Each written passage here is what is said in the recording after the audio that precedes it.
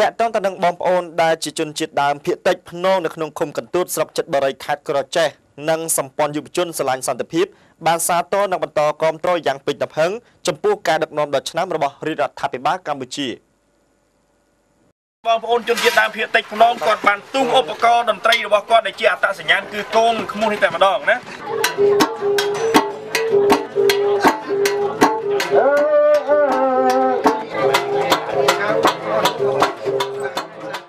បងប្អូនជនជាតិដើមភាគតិចភ្នងនៅក្នុងឃុំកន្ទួតស្រុកចិត្តបុរីខេត្តក្រចេះរួមជាមួយនឹងសម្ព័ន្ធយុវជនស្រឡាញ់សន្តិភាព និងបងប្អូនប្រជាពលរដ្ឋដទៃផ្សេងទៀតបានរួមគ្នាបន្លឺសម្លេងគងជ័យនិងស្នូទះដៃយ៉ាងកងរំពងដើម្បីអបអរសាទរការដាក់បញ្ចូលតំបន់ប្រាសាទសម្បូរព្រៃគុករបស់កម្ពុជាទៅក្នុងបញ្ជីបេតិកភណ្ឌពិភពលោកឯកឧត្តមជុំកសល ប្រធានកិត្តិយសសម្ព័ន្ធយុវជនស្រឡាញ់សន្តិភាពគ្រប់គ្រងដល់ការស្រឡាញ់អាណិតនិងការជឿទុកចិត្តរបស់បងប្អូនជនជាតិដើមភាគតិចភ្នងក្នុងស្រុកចិត្តបុរីក៏ដូចជាប្រជាពលរដ្ឋកម្ពុជាគ្រប់ទីកន្លែងមកលើការដឹកនាំរបស់រាជរដ្ឋាភិបាលកម្ពុជាឯកឧត្តមក៏សង្ឃឹមផងដែរថាបងប្អូននឹងនៅតែបន្តរក្សាសន្តិភាពនិងការអភិវឌ្ឍពិតប្រាកដជាមួយនឹងរាជរដ្ឋាភិបាលកម្ពុជា ដែលដឹកនាំដោយគណៈបកប្រជាជនកម្ពុជា ព្រោះគណៈបកប្រជាជនកម្ពុជា តែងតែរួមសុខរួមទុក្ខជាមួយនឹងបងប្អូនប្រជាពលរដ្ឋកម្ពុជានៅគ្រប់កលៈទេសៈហើយរាជរដ្ឋាភិបាលកម្ពុជាដែលដឹកនាំដោយគណៈបកប្រជាជនកម្ពុជា តែងតែបាននាំមកនៅកិត្តិយសកិត្តិនាមដ៏ល្អប្រសើរល្បីល្បាញជាច្រើនជូនដល់ប្រជាជាតិកម្ពុជា ជាបន្តបន្ទាប់ជាក់ស្ដែងដូចជាការដាក់បញ្ចូលតំបន់ប្រាសាទសម្បូរព្រៃគុកជាបេតិកភណ្ឌពិភពលោក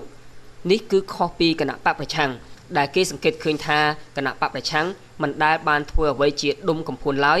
សម្រាប់កិត្តិយសសម្រាប់ប្រជាជាតិកម្ពុជា គឺមានតែការបង្អាក់រារាំងដំណើរការអភិវឌ្ឍរបស់រាជរដ្ឋាភិបាលកម្ពុជាតែប៉ុណ្ណោះសមិទ្ធផលរបស់រាជរដ្ឋាភិបាលកម្ពុជាជាច្រើនក៏មិនត្រូវបានសាទរពីក្រមបកប្រឆាំងនោះដែរ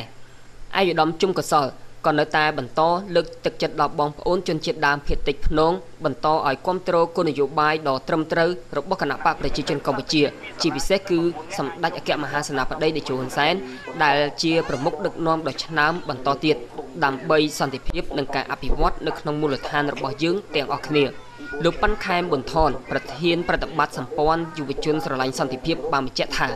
បច្ចុប្បន្ននេះក្រោមការចង្អុលបង្ហាញពីអាដាមប្រធានកិត្តិយសសម្ព័ន្ធយុវជនស្រឡាញ់សន្តិភាព គឺបានចូលរួមជួយជាសម្ភារៈសិក្សាសម្លៀកបំពាក់និងជាពិសេសបើកថ្នាក់ភាសាអង់គ្លេសជូនដល់សិស្សានុសិស្សនៅទីនេះផងដែរដោយឥតគិតថ្លៃក្នុងគោលបំណងធ្វើយ៉ាងណាដើម្បីជួយឲ្យកូនចៅប្រជាពលរដ្ឋបងប្អូនជនជាតិដើមភាគតិចភ្នងលោកមានឱកាសទទួលបាននូវការអប់រំទាំងភាសាខ្មែរនិងភាសាអន្តរជាតិព្រោះក្រោមការដឹកនាំរបស់សម្ដេចតេជោ ក៏ដូចជាគោលនយោបាយដ៏ត្រឹមត្រូវរបស់គណៈបកប្រជាជនកម្ពុជា គឺបានយកចិត្តទុកដាក់ខ្ពស់ចំពោះការបណ្ដុះបណ្ដាលយុវជនកម្ពុជាឲ្យមានចំណេះដឹងដើម្បីប្រែក្លាយធនធានមនុស្សឲ្យមានតម្លៃពិតប្រាកដសម្រាប់ការចូលរួមថែរក្សាសន្តិភាព និងអភិវឌ្ឍប្រទេសជាតិទៅថ្ងៃខាងមុខទៀតថ្ងៃអនាគត